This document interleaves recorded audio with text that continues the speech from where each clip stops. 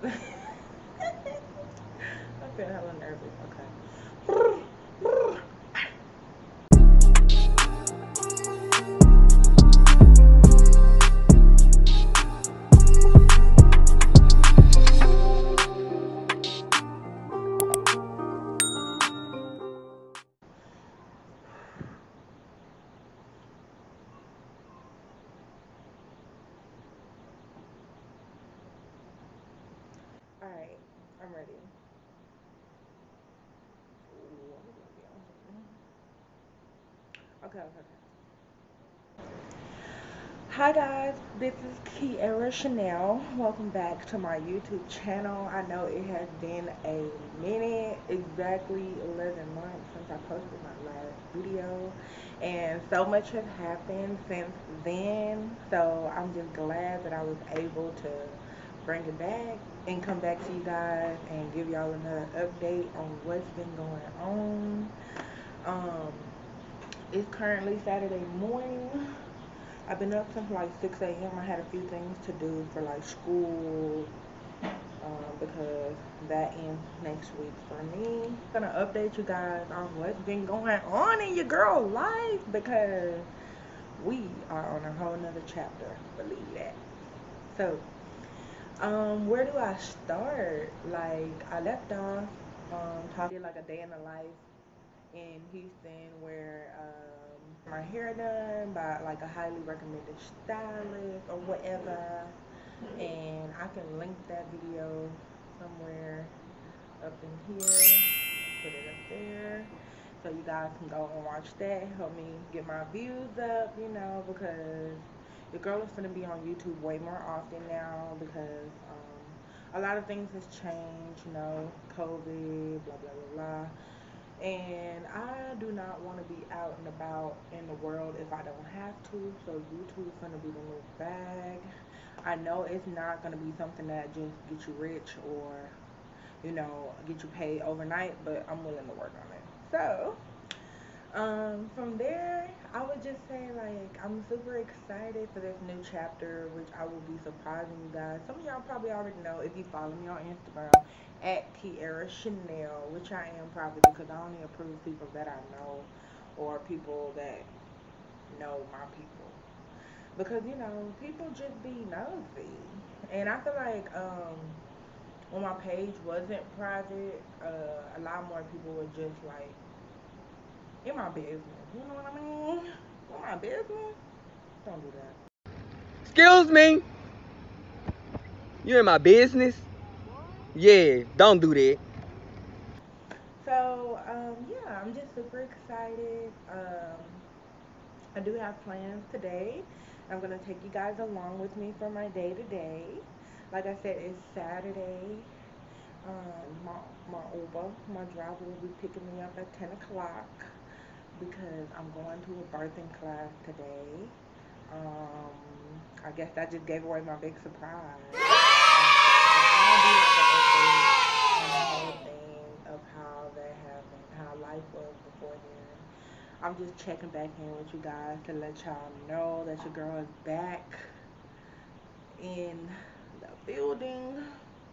I'll be doing like life updates for y'all. I'm gonna be doing like business updates for y'all. Um, I'll be doing just like lifestyle overall updates for you guys. So tune in for that. Make sure you guys stay tuned in. You know, uh, click the notification bell. Subscribe to my channel.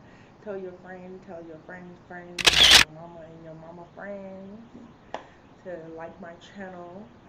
Um, y'all are supporting a young black woman's dream of being a serial entrepreneur when you do follow and you like and you subscribe. Um, but yeah, I'm gonna post my business page. Make sure you guys follow my business page at mermaidstreasurebox.com. It's my website, but my Instagram is mermaids treasure box, and I'll put that here for the correct spelling and everything. Of course, I'll link it down in the description below. Oh, today is just a busy, busy day. Okay, let me just tell you about today because I was trying to update y'all on my life. And let's just do today. Let's just do today. Okay.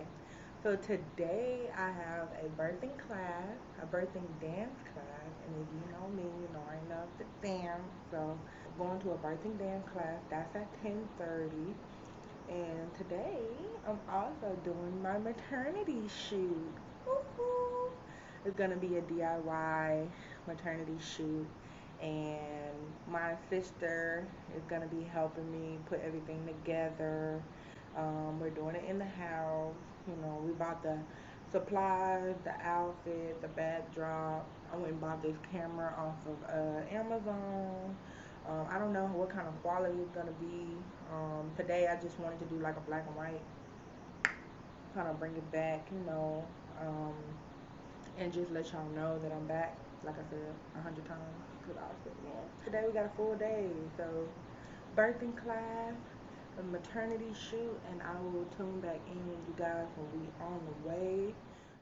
Okay, guys, back again. I literally just ate breakfast. It was like some potatoes from last night. Uh, did some homemade mashed potatoes. And I just woke up and put like some chorizo, cheese, and I fried me an egg. that was so good. Oh, I just heard the money sign. Let that be a sale. Um, so now I'm walking to the front of my apartment. Oh, I hope it's not too dark, y'all. I'm sorry. Hello.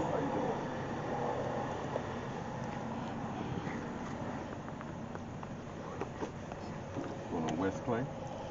Uh, yes, sir. Okay.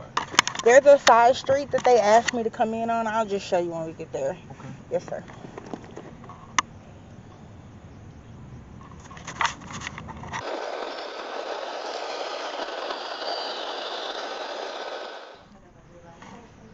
in the beginning of the class, or what I like to call slow down.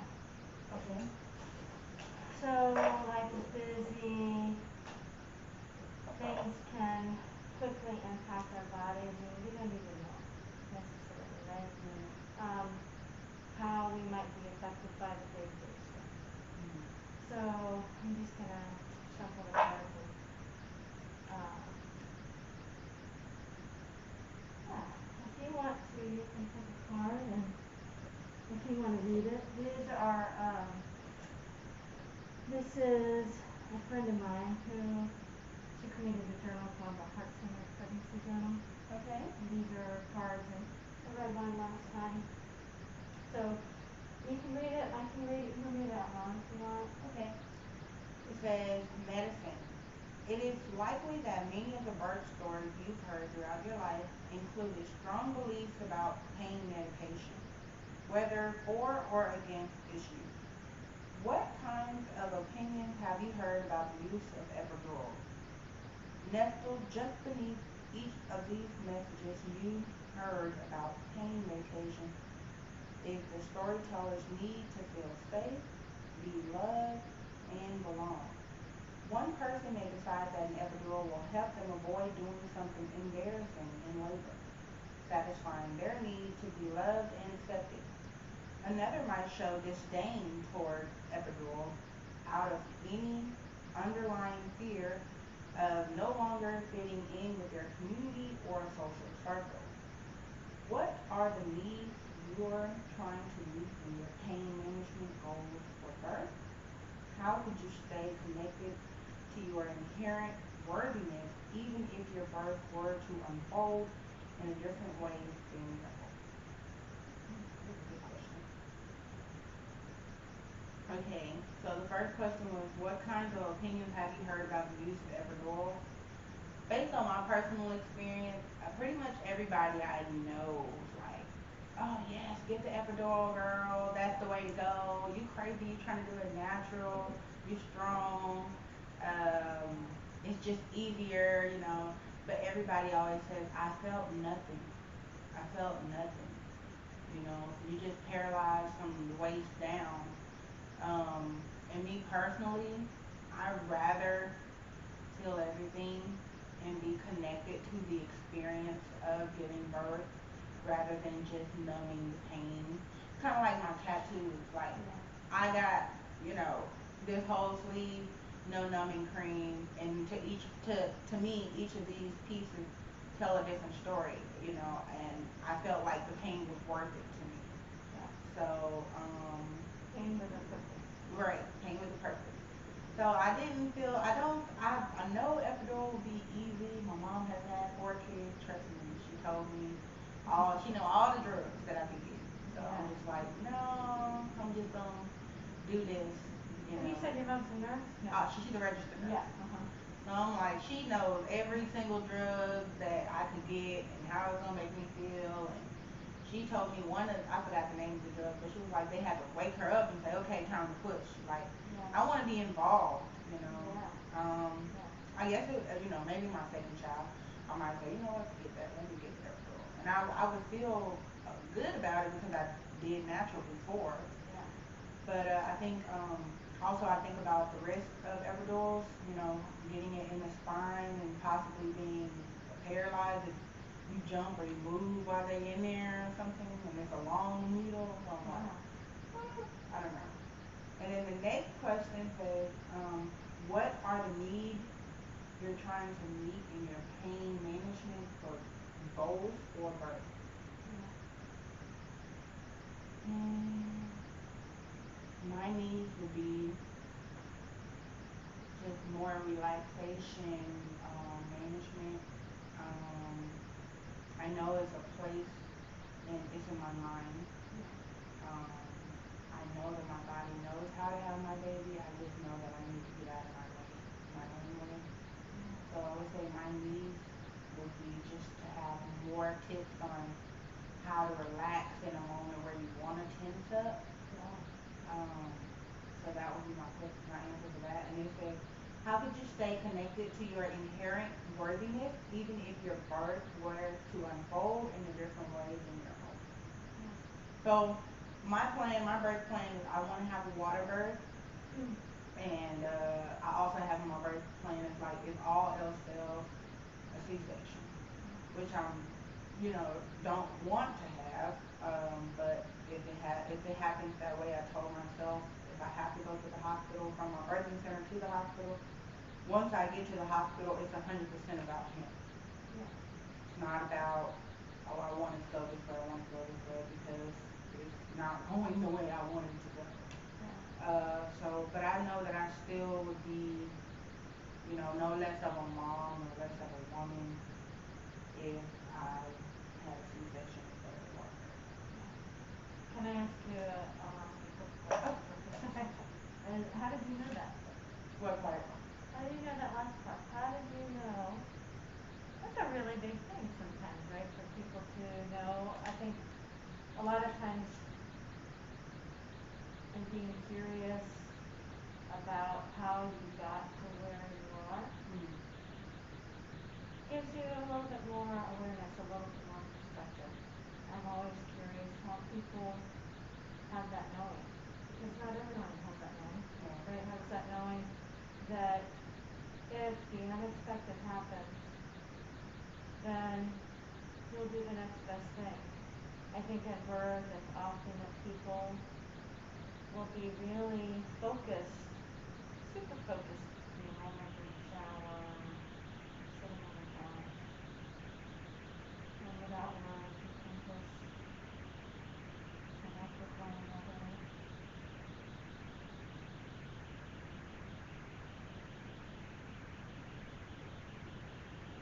You are so in attunement, you are so in alignment with your baby. If baby's in utero, can't tell me different, you hear the emotions you have.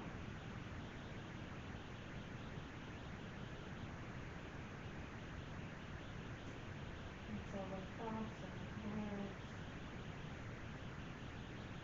fifteen minutes every day, somehow you're not feeling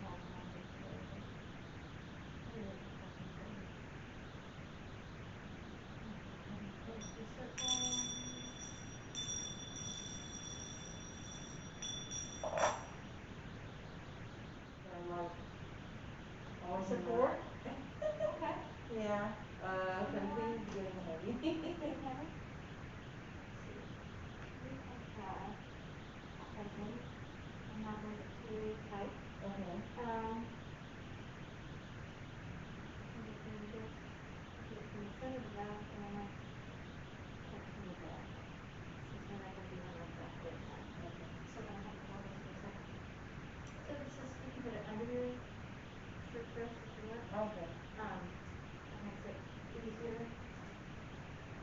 become a little fancy a little bit. So, um, this is one thing, I'm not gonna do it very tight, Okay. but it might give you just a little bit of support when you move, Okay. So there is a technique that people do that is probably a dumb move.